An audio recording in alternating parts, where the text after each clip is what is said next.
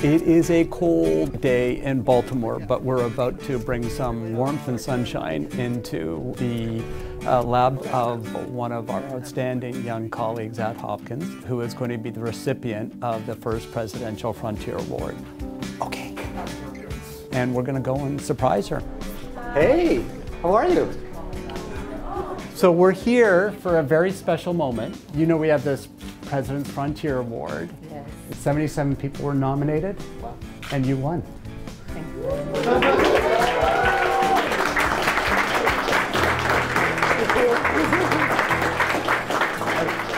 This is an award which was created by two graduates of Johns Hopkins, Lou Forster, who is a trustee, and his wife Kathy Pike, that will bring $250,000 uh, to a faculty member to buy them the freedom to pursue really exciting ideas. It's, it's fun to have, great to have this recognition, uh, but it's also uh, lots of responsibility.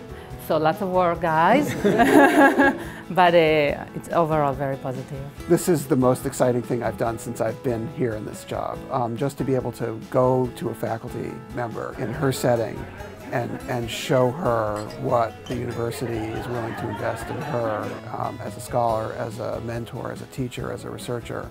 Um, this is why we're here. This is what the university is for, and this is really a, a great moment for Johns Hopkins.